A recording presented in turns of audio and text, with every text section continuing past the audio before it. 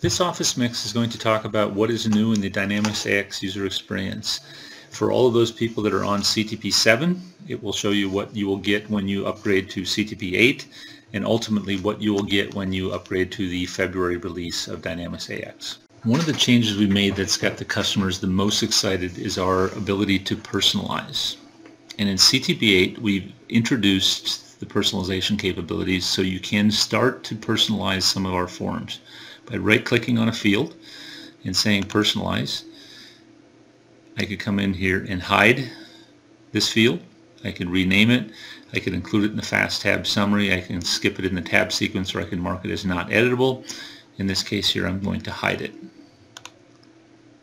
Now that field no longer appears on this form. I can hide other fields I no longer want in a very similar fashion. And I can also take a field like routes in this case and I'm going to say personalize it and I can move it left I can keep moving it left until I get it into the location that I want it to, to be in. This is the way that you move a field around in CTP 8 and this is the basic capabilities we have in CTP 8 for personalizing a form. With the current version of Dynamics AX, we've now enhanced the personalization capabilities substantially. You still have the ability to right click and say personalize on any field.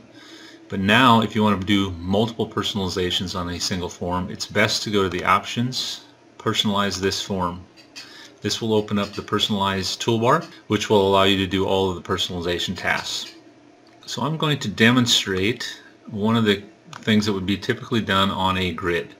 So in this case I'm going to select the hide tool and I'm going to hide a few of the columns that I don't think I need in the customer list. I'm going to hide the is merged column, the extensions column, and the telephone column. And you can see when I get out of that tool, now those columns have gone away. I also want to add a field. So I can click on this plus button, and then I have to select the, the grid as the place I want to add a field.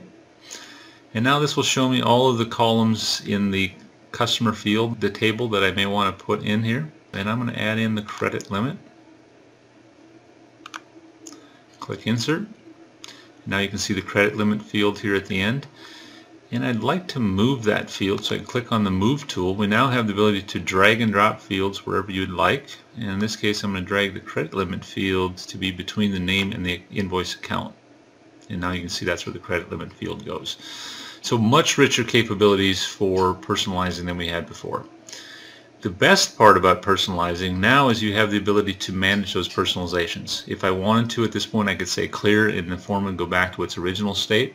I also have the ability to export this to a file and then from that file I can then send it to somebody else, one of my coworkers. They could import it and they could get those same personalizations. So very nice capabilities with our personalization